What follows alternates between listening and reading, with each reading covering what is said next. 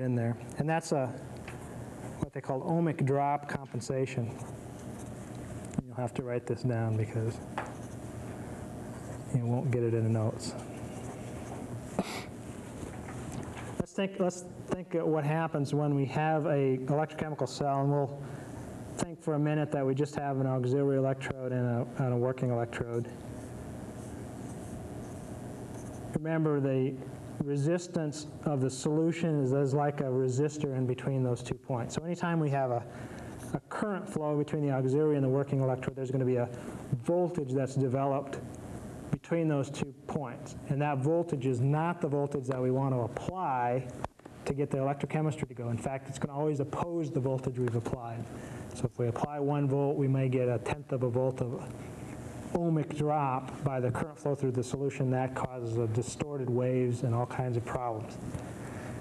Now, you can see what happens when we do cyclic voltammograms. Now, if we apply a CV voltage to the system, it might be a triangle wave like so. We would expect to see a current that flows like so.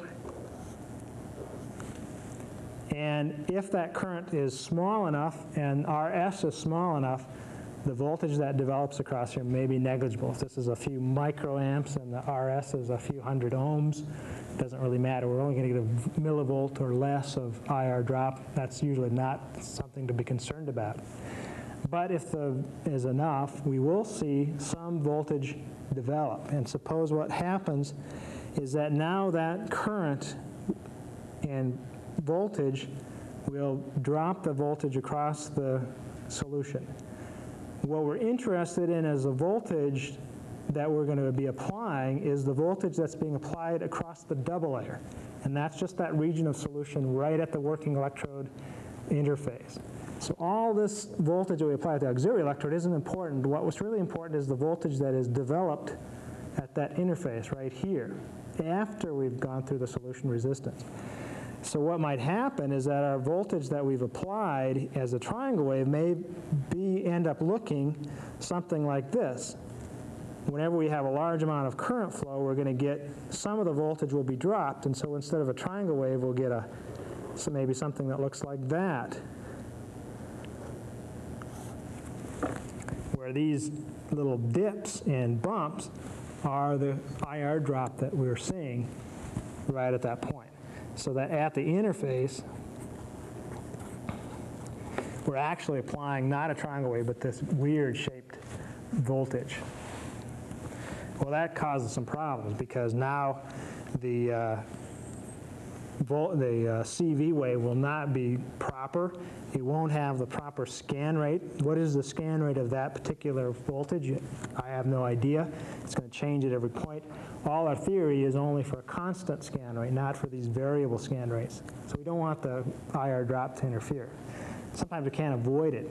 But we can think of ways to try to compensate for it. Let's think about what's suppose instead of if we know that we're going to have some IR drop, what we can do is we can make our voltage that we've start with different than a triangle wave. Suppose we start with a voltage wave that looks like this.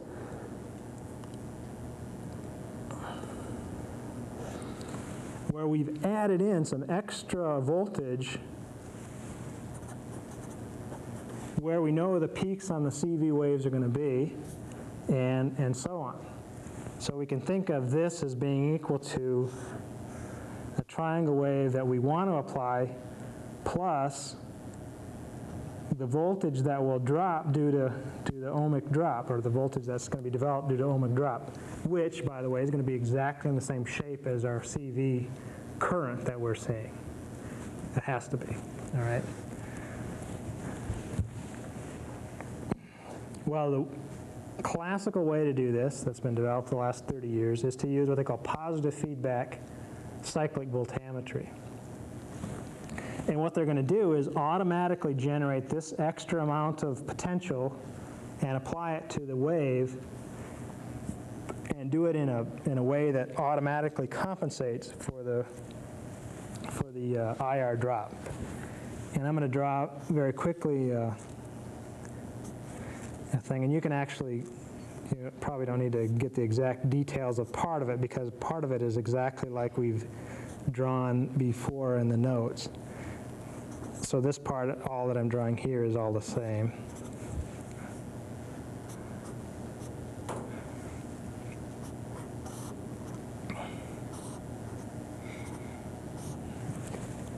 Notice here is our normal potentiostat.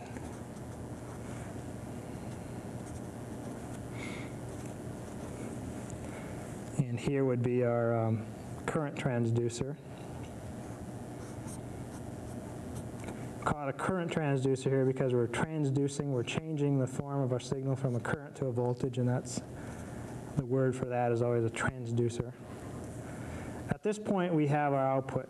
But notice that the output current here is going to be similar to the current that we want to, similar to the signal we want to add in. So what we can do is we can take a fraction of that, and we can get a fraction of it by taking a variable resistor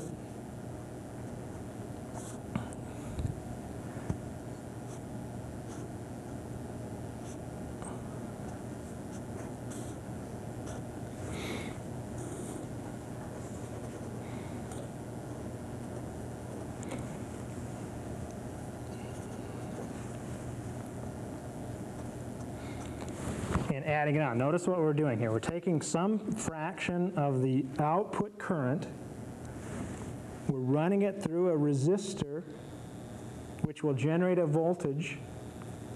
And so now we have a voltage that's, or actually we have a voltage here. We have a voltage across the resistor, and we're going to vary that voltage by using a resistor to get a variable uh, voltage drop. Some of the voltage will be um, um, so some fraction of the voltage out, in other words. So we might get a all of the current, all the voltage, or a fraction of a tenth of it, or 20% of it, or whatever. And we're going to take that voltage, which is in the shape of this triangle of the CV, and apply it right to the back to the input. So what we're doing is we're having a positive feedback. We're taking some of the signal, applying it right back to the working electrode input. So as the experiment is going, some of the signal is fed back to the input. And what that'll do is that will make a, a wave like this. We're taking some of the signal, adding it to the starting triangle wave, and that's coming in here, remember. Here was our, here, here is our CV looking uh, voltage. Reference electrode potential is the same and, uh, we're adding it in. And so what can, what can happen? Well, now what we've done is we've added that little bit of extra current that we need, or a little bit of the extra voltage that we need to, to compensate for the voltage that will drop through the solution resistance. This is what they call a positive feedback compensation of the solution resistance. And what happens in the positive feedback that we talked about? Well, if we have all of the signal being fed back, we get the same thing we get with a microphone and a speaker. We get uh, oscillations and squeals. Uh, in this case, if we try to make the amount of fe- fed back signal too high, you get oscillations in the signal. You can see that if you have one of these devices. If you turn off the uh, fraction of compensated amount, it'll get os- it'll oscillate. So what you want to do is set that resistor to some value that some fraction less than 100%, usually 80 or 90%. At that point, you get some of the signal gets fed back, but not so much that you get positive feedback and, and uh, oscillations. And that eliminates, but some of the IR drop, not entirely, because I said it can only be 80 or 90%, so you get some fraction less than 100%. But it is still useful, a useful method of uh, doing that experiment.